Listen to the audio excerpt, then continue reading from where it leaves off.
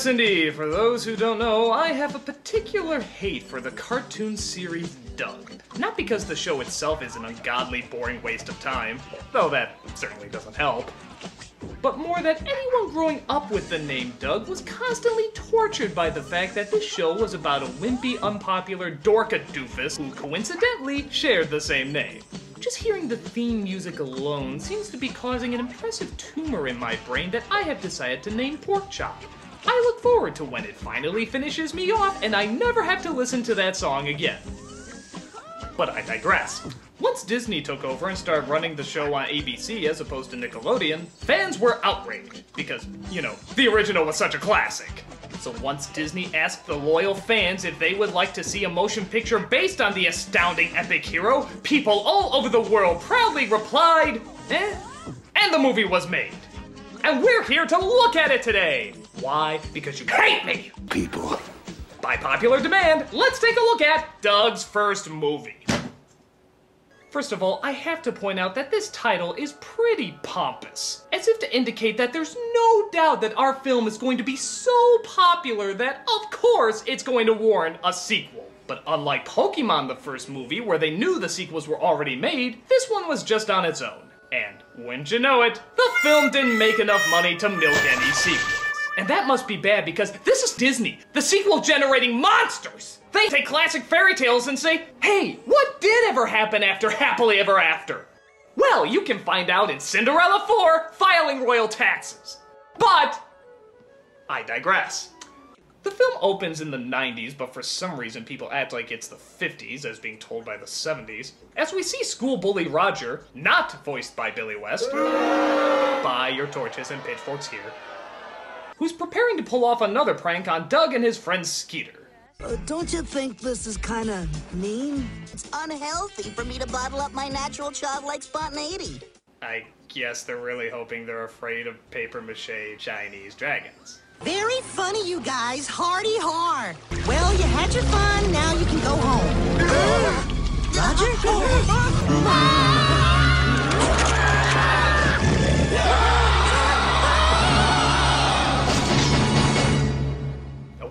there's no gore, but there is something just as equally terrifying the opening credits. Roll it, pork chop. Here comes the opening theme.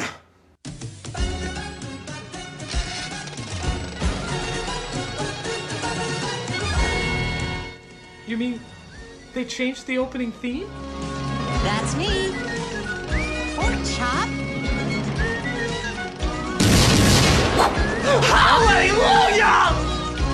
Oh, it's bland. It's forgettable. It sounds like nothing I would ever remember in recent history. But hey, so's the show! It's absolutely perfect. Rest in hell, you theme. May an army of devils sing thee to thy fiery death. After we just assume Skeeter got away from the monster, Doug informs us of the one thing that's on everybody's mind. That means at school, people have just one thing on their minds. A Valentine's dance. Uh, isn't it romantic? A Valentine's dance. How delightful. A Valentine's. A Valentine's. Dance? Who the talks about a dance this much? I mean, the girls I can understand, but the boys? Really? Somehow this doesn't seem particularly realistic. Hey, Bobby, good job on that last shot. Oh, you know, it's these new Air Jordans. Ah, those don't do anything. yes, they do. They can make you reach the net easier. Oh, Bobby, you've been watching too many commercials. Seriously, is nobody thinking about the dance?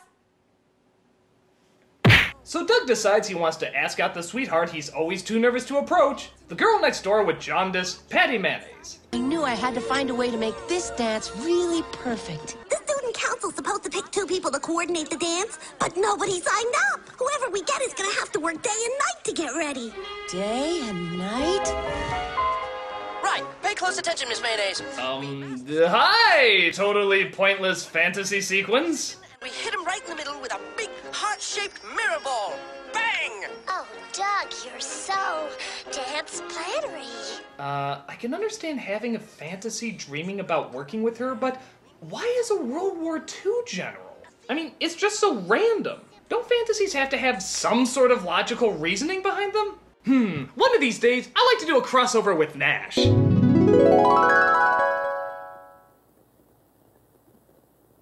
You are weird. Not much competition. So both Doug and Patty sign on for the dance committee, but only Patty gets chosen. The other position goes to a guy named Guy. Guy Graham, upperclassman, heads up, dinky dance. Bang! It turns out Guy joined the committee to get fresh with Patty too. Well, Doug, you understand. Guy has real accomplishments, and he's friends with my daddy. Fine, young man. But for the moment, even bigger news seems to have fallen into their lap. The monster.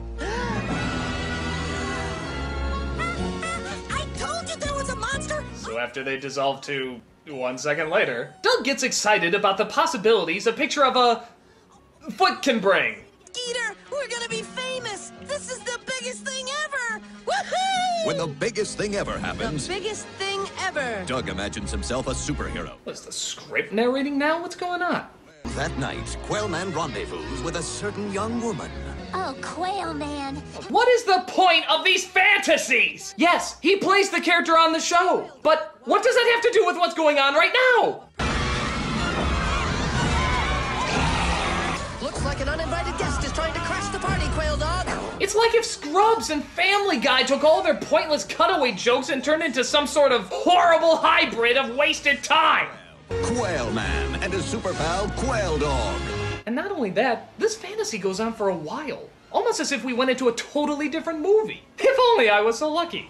Who are you? I am the Lord of the Polka. Care to dance? Must dance. I'm not kidding. This fantasy goes on for like four minutes, which in Disney animated years is like 20. Quail Dog turns the high-powered disco lights into the eyes of the monster, momentarily disorienting the reptilian rowdy. I don't even get it. Does Doug just black out for a while while his friends just look at him awkwardly? So, Doug, what do you think about the picture? Doug, I miss you when you do this. Why do you go where I can't follow? Meanwhile, Roger and his henchmen, because all school bullies have henchmen in cartoons, put together a plan to find the monster they discovered the other night. There is only one thing that can save us from certain destruction. I present to you Robo Crusher. Note the pincer claws and X-ray eyes. I've drawn myself down here for scale. Money is no object. Okay, so all reality connecting to what children do in high school has totally been removed. But I guess that's what I'd expect in a world where everybody looks like a Dr. Seuss mutant. But little do they know that the monster from the other night followed them home. So they take the paranormal activity approach in that they never call the cops and try to fight off the scariness themselves.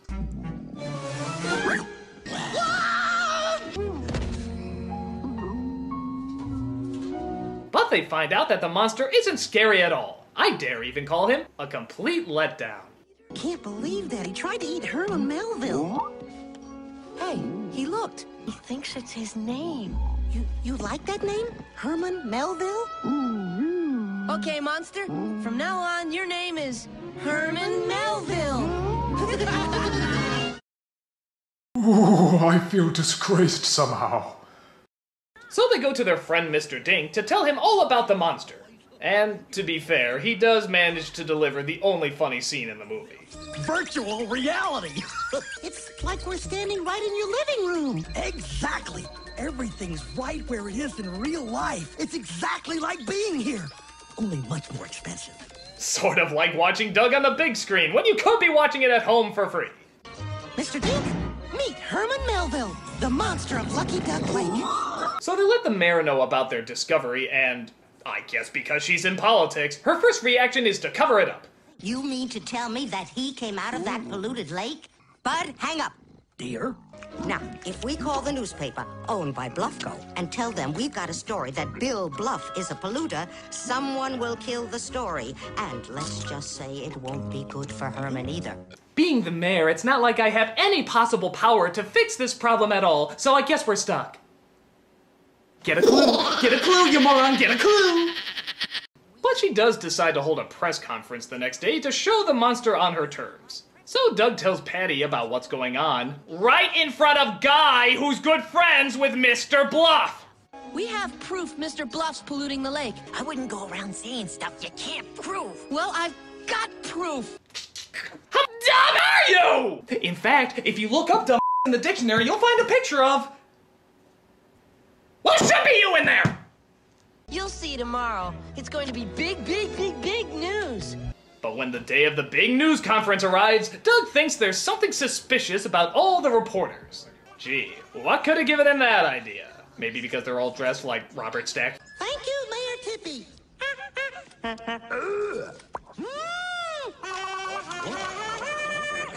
Sorry, always wanted to do that on TV. You're a waste of thought. So, to save the monster, Doug totally bails on the news conference. Something's not right. I think we made a big mistake. Mr. Bunny, is this your idea of a joke? I'm sorry, I gotta go now. I knew it. Sea monsters, right. I can't believe it. I, I had no idea Doug would lie like that. I say we judge strictly by how it looks and in no way question motivation or character. So after they find out that the reporters did indeed work for Mr. Bluff, and that it was just a plan to capture the monster, the mayor's plan is going to be A. Have Bluff arrested, B. Document all that she can through video and eyewitnesses that the monster is real, or C. Have some of Bud's famous leftover meatloaf. Now, what do you say we have some of Bud's famous leftover meatloaf? Now you're talking. Let's go, boys. Am I on Mars? Tell me I'm on Mars! None of this makes any sense! I must be on Mars! I mean, this is as logical as Roger and his friends actually making that giant robot they were talking about.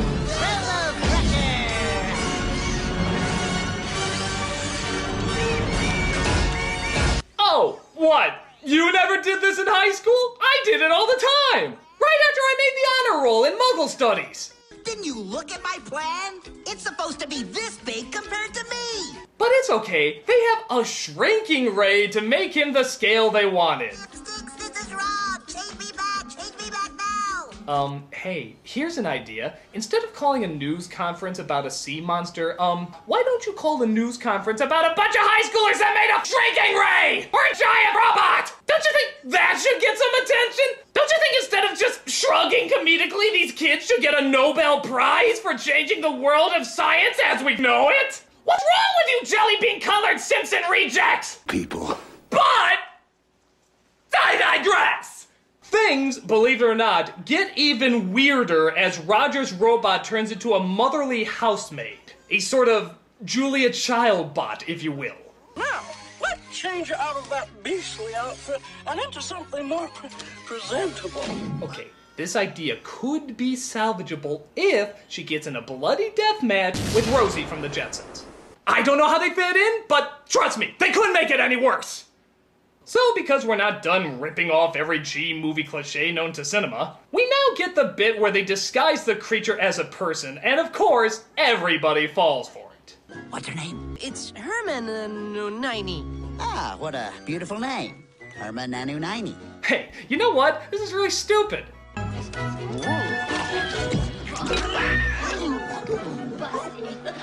at Doug with that cute girl. Wait a minute. What?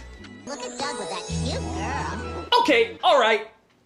I can believe the boy's getting excited for the dance. I can believe the mayor not using her powers at all to prove an earth-shattering discovery. I can believe high schoolers can build a giant robot and a shrinking ray and have none of that get any media attention. But if you expect me to believe that any high school girl, high school girl, mind you, will look at this deformed demon, think he's a female student, and actually verbally acknowledge that she's cute, you are fired from breathing. Please pack up your desk and kindly leave live.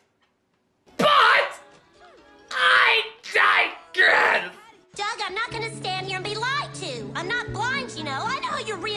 your time with. That Hermione girl you've been hanging around with all day. I already made a Hogwarts joke, so I'll just let this one go. Come on, Patty. She's not even a girl. I know you think I must be dumb because I believed all that monster stuff before, but I hope you don't think I'm that gullible, Doug. Well, you think that, that, and really, Doug, you're trying to date this girl? So later that night, Bluff captures the creature and they take him away. Trying to think of something to do, Doug comes across the story that Guy is writing for the school paper. On the screen, next week's Weekly BB. Monster destroyed. Bill Bluff a hero? We're too late. Herman's dead. Wait, you just said it was next week. Obviously, he wrote it ahead of time before it happened. They killed Herman. This stinks. Yeah, but it's next week's paper. The horrible monster was blasted into smithereens, thus saving the dance organized by cool upperclassman Guy Graham. It's next week's paper! Night of fun turns into night of terror. Didn't you see Tomorrow Never Dies? It's a James Bond scheme! Wake up! Wait, that's. The dance isn't until tonight. Of course. Guy wanted to make sure this was in next week's paper. You mean when I said it was next week's paper, it was actually next week's paper? Oh, Guy must have known I'd be stupid enough to do whatever it is my brain just did there. So, the night of the dance comes, and nobody seems to question why security has been up to Nazi level extremes. We're so glad to see so many of you lovely people here tonight. We would especially like to welcome all the representatives of Illinois' law enforcement community who have chosen to join us here in the Palace Hotel Ballroom at this time. We certainly hope you all enjoy the show. They manage to find the monster and dress up the fembot to go in posing as him.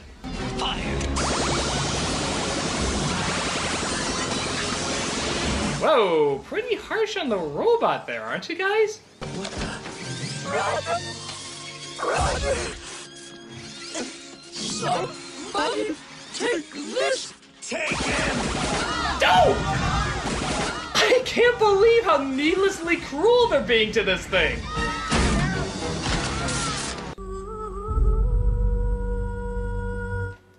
Return the monster to the water, and Bluff has to explain himself.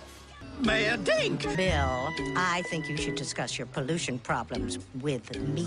Oh, yes, of course. Certainly. Certainly. And just like most elected officials, they come into the problem too late, do absolutely nothing to solve it, and yet somehow they take all the credit when it finally works out. You elected them, folks!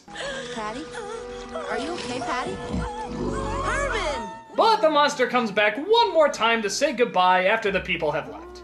I forgot. I brought you something. Remember this? Herman Melville's works? Yes, he writes about a monster in the water who people try to hunt down and kill. But don't worry though, you'll enjoy the ending. So he goes back into the water and we get to see our favorite character one more time before the film ends. No, no, not that puke stain. There you are! Oh, you forgot your jacket! I feel so sorry for this thing! Roger! Roger! Roger! How is it in a cast of characters this big and literally this colorful, the only one I feel any amount of emotion for is the lifeless robot? It's actually kind of hard to watch. Roger! Roger! Roger! Go give him his coat, robot. You have America on your side! Patty and I danced on the dock under the moon for quite some time. I wouldn't have minded if it had gone on forever.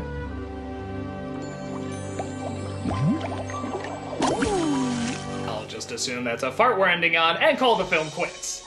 So that was Doug's first movie. Aren't you so glad they brought that to the big screen? I mean, what was even the purpose? Nothing about it screamed cinema, so why did they even make it? As you probably guess, it suffers from the same problem that the show suffers from. It's bland and boring! I hate this movie. I hate this show. I hate everything having to do with it. And thank God this is the last thing I ever have to review having to deal with it. Because I swear, if I hear that song one more time, I don't know what's gonna happen. I'm the Nostalgia Critic. I remember it.